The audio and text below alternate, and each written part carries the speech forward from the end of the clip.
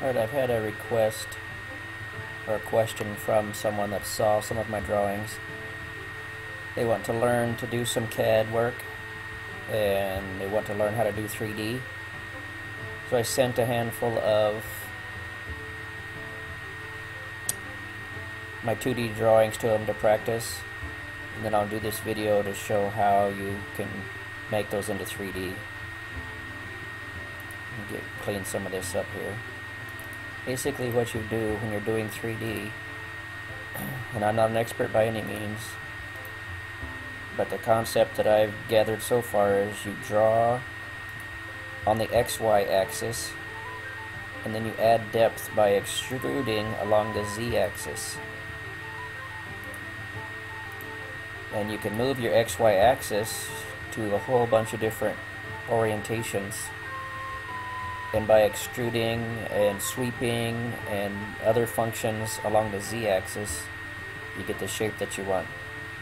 Alright now before you can this is a 2D drawing that I did in DraftSight a long time ago so there may be some problems in it that we'll have to correct and I'll explain that as we go if I, if I find some. What you want to do is have everything you want to extrude as a polyline and I'll show you how to make a polyline from your drawing. Now if you've used your make a circle function, then it will already be a polyline. You can see when it turns all the way gray, that's a polyline. Here, just this one section turns, so that segment only is a line. So what I'm going to do is make it so that when I touch the edge of the knife, that the entire thing turns gray. That's what you want. It means you have a polyline. So we'll go here to uh, modify come down here and I'm going to edit polyline. Alright, so I'm going to select that and now it gives me a prompt that says select a polyline. So I'll just start here. Left click on that, it says object selected down here at the bottom of the page says object selected is not a polyline. In the box it says do you want to turn it into one? Yes, so I'm just going to tap the enter key and I want to come over here and I want to join that polyline. then it says select the other object. So what I'm going to do is I'm going to try to do a massive selection. See if it'll select it. Alright, so now I've selected that whole knife profile. I'm going to hit the enter key. Hit the enter key once more. Let's see what happened. Okay, see now what I'm talking about. Anywhere I touch the knife, the entire profile becomes gray. But here it isn't, so we've got some problems in this cutout area. See if I can find them. Usually what happens is you may have the line is broken somewhere. Actually, probably what happened is since this line, since this area was not touching this area, that there was no way for it to join. So I'm going to go through this process again. Select, click on that polyline. I'm going to select this one. Press the enter key, turn it into a polyline, select join, click that, that, that, everything that I want to join. Okay, enter, enter. Alright, oops. So right down here, I don't know if you saw that. When I selected this, everything highlighted as being joined except for this area. So let's zoom in.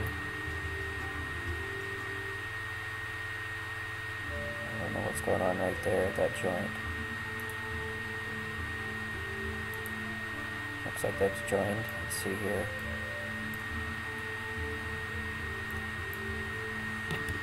Escape.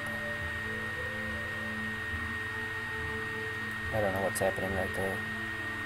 So that's what I'm going to do is just erase that. Just for learning purposes now what I'm going to do is make an arc a three point arc just right on the end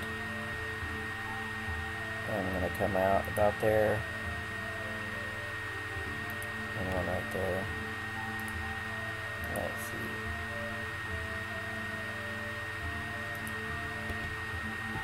Escape. Alright, close enough. Alright, so I just replaced that. Let's see if that uh, corrected the problem. I don't know what the problem was. Sometimes there'll be an open there. Um, I don't know all the answers. Alright, so I'm going to select that. I want to join with that one. Enter. Enter again. Alright, so that worked. Now I've got that as a polyline. Let's check. Um, let's make this a polyline. If you don't make a polyline, then your line will extrude, but it will it won't extrude. It will just extrude as a as a single flat surface, and not as part of a solid, which is what I'm after in this case. Okay, I'm to repeat the P edit. Uh, select that. Yes, enter. Join. I'll go ahead and select the entire. Thought I was select the entire thing right there. Enter. Enter again. Alright, that worked. Okay, so now we've got everything ready to go um, 3D. And so what we've done, just to review, the y-axis is up and down, the x-axis left and right, and the z-axis is the axis that is coming out of the screen towards me and into the screen away from me. Okay. On the track wheel, you can push the track wheel down. So I hold down the shift key and the track wheel, and then you can move on 3D. Okay. I'm going to go ahead and select the extrude function. Select objects to extrude. I'm going to do that one, that one, that cutout, that cutout, uh, there, there. Okay, then I'm going to hit the enter key to say that my selections are complete. And then it gives you an opportunity. You can extrude positive or you can extrude negative. I'm just going to move this up here and extrude 1, which will be just like an inch or something. It'll be an inch actually on my computer. Inch, put enter, typed 1 into that box, and then hit enter. Alright, so now those are extruded as solid shapes. I'm going to extrude again. Just I'm going to select the profile of the knife, hit the enter key, and I only want to extrude. Wait a minute here. Hit escape.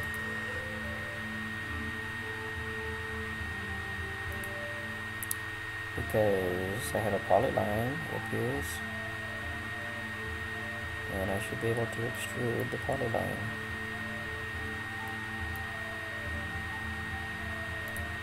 Alright going to modify for some reason select that. Say close it? Okay. Just in case the polyline was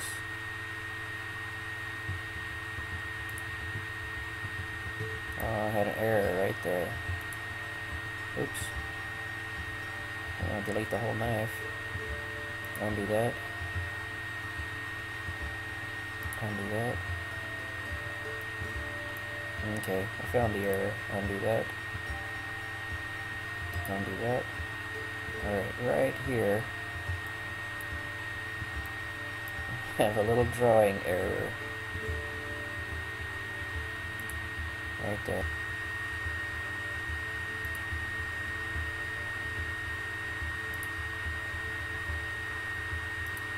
Oh, okay, let's try that.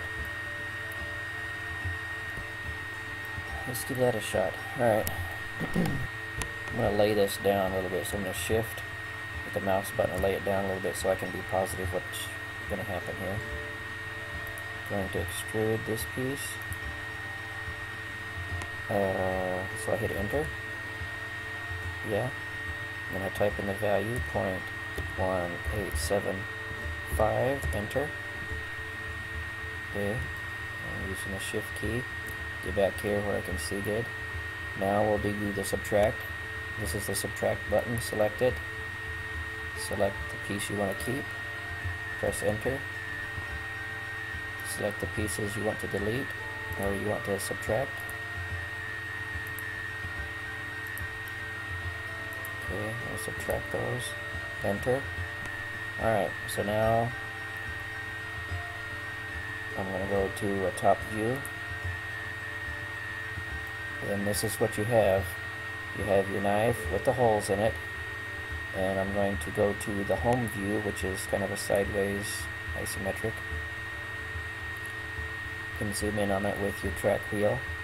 And it shows the knife 3 16ths of an inch thick with these holes. It shows your cutout. So you can manipulate, so you use the shift key, you can look at it, you know, flip it around and look at it all different directions with your shift key and your track wheel button. Thanks for watching. Have a great day. See you next time.